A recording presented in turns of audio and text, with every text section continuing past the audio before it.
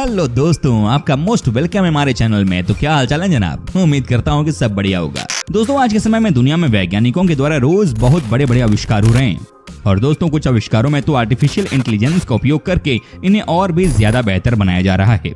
और आज के समय में इतनी ज़्यादा स्मार्ट टेक्नोलॉजी की मदद से वैज्ञानिकों ने कई सारे ऐसे रोबोट बनाए हैं जो कि इंसानों से मिलते जुलते हैं और इंसानों की तरह ही बात भी कर सकते हैं। तो आइए आज हम आपको दिखाते हैं दुनिया के कुछ सबसे यूनिक एंड खूबसूरत रोबोट्स को। इस वीडियो को आप अंत तक ज़रूर देखिएगा। चलिए वीडियो शुरू करते हैं। एरिका रोबोट दोस्तों, दुनिया में खूबसूरत रोबोट्स में से इस रोबोट का नाम दूसरे नंबर पर आता है। इस खूबसूरत से दिखने वाली रोबोट का नाम एरिका है।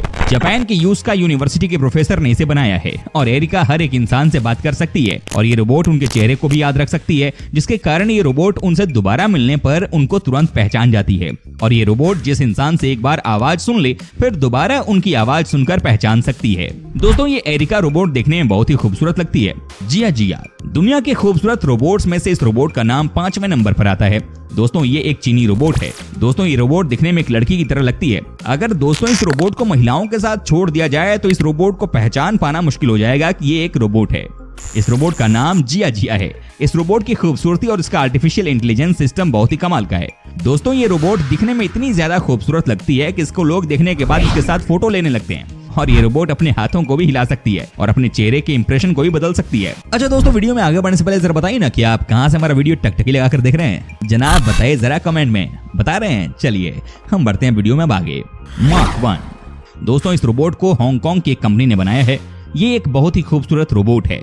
ये रोबोट अपने हाथ, पैर और सिर भी हिला सकती है। दोस्तों, इस रोबोट की स्किन को सिलिकॉन से बनाया गया है, जिसके कारण ये रोबोट दिखने में एक लड़की लगती है। ये रोबोट इंसानों से बात कर सकती है। दोस्तों, इस रोबोट को हॉलीवुड की एक एक्टर स्कोइनेप जॉनसन की शक्ल दी गई है। Sophia robot. इस रोबोट को हांगकांग की एक कंपनी हैरशन रोबोटिक ने बनाया है। इस रोबोट को आज तक के सबसे हाईएस्ट आर्टिफिशियल इंटेलिजेंस रोबोट माना जाता है।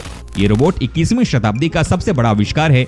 सोफिया को इंसानों के साथ मिलकर काम करने के लिए बनाया गया है। दोस्तों, सोफिया की खास बात यह है कि ये रोबोट अपने सामने बैठे हुए इंसान से बात करते हुए चेहरे के इंप्रेशन को भी सीखती रहती है। और दोस्तों, सोफिया ने उस इंसान से क्या बात की है, वो बात को याद रख सकती है और उसकी यही सीखने की क्षमता उसे दिन प्रतिदिन बेहतर बना रही है। जेमिनोइड डीके ये रोबोट दिखने में बिल्कुल असली लगता है, जिसके कारण लोग इसे असली इंसान समझ लेते हैं और दोस्तों सोचते हैं कि इंसान रोबोट बनाने का नाटक कर रहा है। इस रोबोट को कोपिया की एक कंपनी कोकरो ने बनाया है। दोस्तों, ये रोबोट एक बहुत ही शानदार रोबोट है। इस रोबोट को कंप्यूटर के द्वारा ऑपरेट किया जाता है। ये रोबोट अपने सामने बैठे लोगों के चेहरे के इंप्रेशन को भी कॉपी कर सकता है। और दोस्तों, इस रोबोट को जिसने बनाया है, उन्होंने अपनी ही शक्ल दी है। दोस्तों, उम्मीद करता हूँ कि आपको हमारा ये एपिसोड पसंद आया होगा। साथ ही दोस्तों, अगर आपको इस वीडियो पर कोई राय देनी है तो आप हमें कमेंट करके अपना फीडबैक दे सकते हैं। और हाँ अगर आप हमारे चैनल पर नए हैं तो प्लीज़ चैनल को सब्सक्राइब ज़रूर कर दीजिएगा, क्योंकि हम आपके रोज इस तरह के वीडियो बनाते रहते हैं। दोस्तों, अपना ख्याल रखिएगा। मिलेंगे अगले एपिसोड में, तब तक ले टेक केयर एंड बाय